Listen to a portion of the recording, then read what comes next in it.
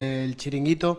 Eh, lo primero me gustaría saber si ha hablado con alguno de los jugadores, tanto para decirles que estaban en la lista como para aquellos, si ha tenido alguna deferencia, como ya pasó en la Eurocopa, que llamó en este caso a Sergio Ramos para decirle que no iba, para decirles que no estaban. Y segunda pregunta, si me lo permite, me gustaría saber si por su decisión esta podría ser su última lista como seleccionador.